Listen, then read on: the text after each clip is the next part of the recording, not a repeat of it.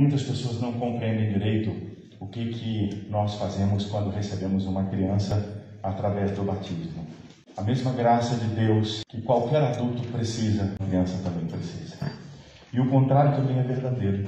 A mesma graça que Alexandre hoje recebe como herdeiro de Deus, como filho da promessa, aquele que herda o favor que Deus tem sobre a vida de Camila e Leandro, sobre a vida dos avós, sobre a família.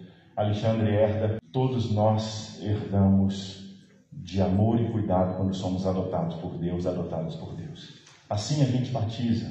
A gente não batiza para salvação, porque a gente acredita que a misericórdia de Deus já é sobre a vida de Alexandre. É inquestionável a salvação de Alexandre. A gente recebe Alexandre na igreja de Jesus espalhada na face da terra.